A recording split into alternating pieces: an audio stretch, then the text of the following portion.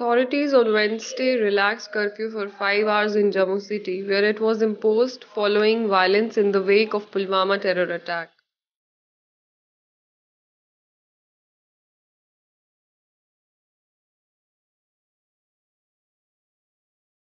Relaxation has been given in curfew in Jammu city between 8 am to 1 pm today, as told by Deputy Commissioner Jammu Ramesh Kumar to Jammu Links News. A review of the situation will be carried out later today.